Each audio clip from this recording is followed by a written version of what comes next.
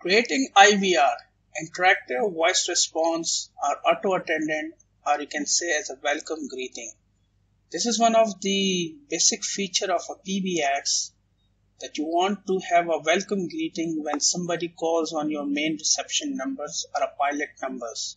So you display or you display a, a nice greeting and then you guide the caller to reach to the specific department or an extensions. This is something, for example, whenever somebody calls you, play welcome to company ABC.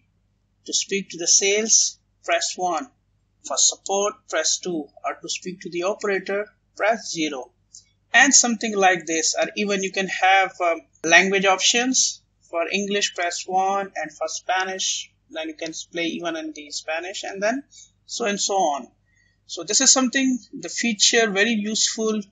Mostly businesses do require this to have this on their phone system so that the caller feel you know comfortable whenever they calls. They can you know help them to reach to their desired extensions or to the desired department. So we'll show you how you can configure the IVR and this video. So let's begin. So as usual we are on the PBX tab now we have one more feature called an IVR which is right away here. So let me click on that and I'm going to add the IVR into this PBX, Elastix PBX. So let me click on add new. Then what I'll do, I'll say my main IVR. So this is the main IVR, the name of the IVR and descriptions, whatever you like. Uh, this is the main IVR. Okay, that's it and then uh, whatever audio prompt you have uploaded to your system they are available here. So you can choose whatever you like. I mean if you have the main menu prompt you uploaded earlier i have shown you how you can upload the system recording. So then you can choose let me choose this one customer service this is the features whenever somebody's you know this is something like you know direct dial. So if they want to reach to direct to the extensions let's say some of your friends dials into this main numbers and they probably know your extension so they can direct while the IVR or the greeting message plays.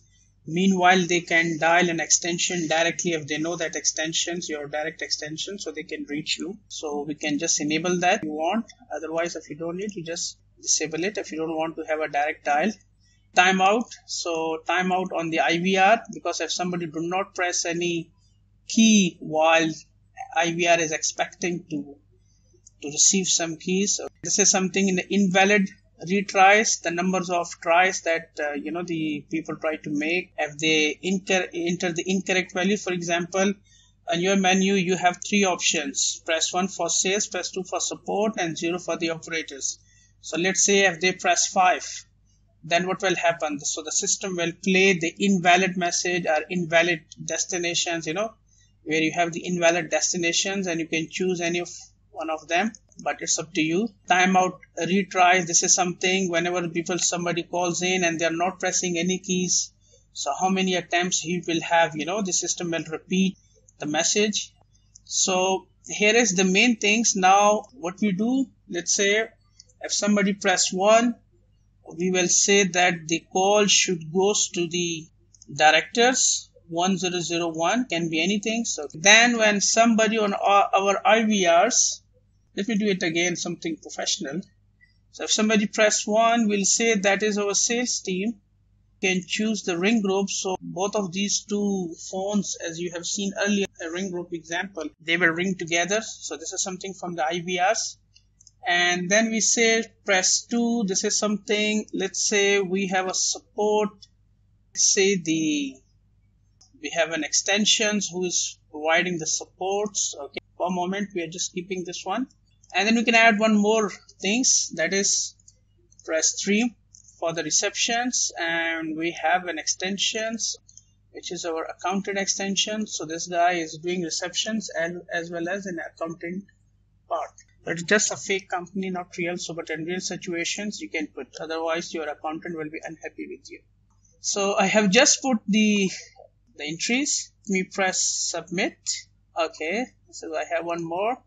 So they are just asking me if somebody dialed the invalid destinations what it should goes to. So right now, whenever somebody dials the invalid, what happens usually you like to say that this is the invalid and then it goes back to the IVR. But what I'll do here, just temporary, I'll just put the extensions because uh, once I have an IVR and again here I'll put the extensions just let me add and apply changes and then if there is an invalid what I'll do I'll select the IVR if somebody dial the invalid key again they will go back onto the main IVR which is this right now and it will repeat again the same options to them. Similarly if uh, there's a timeout and they are not entering anything then we can have the IVR again. That will how many maximum invalid tries they can do is 3 you can reduce to any number up to 10 you can have but 3 is as per standard and similarly the timeout increase up to 3 they can have. So our IVR is now ready. You can use it but uh, let's add some more features like announcement and time conditions and then we'll play this IVR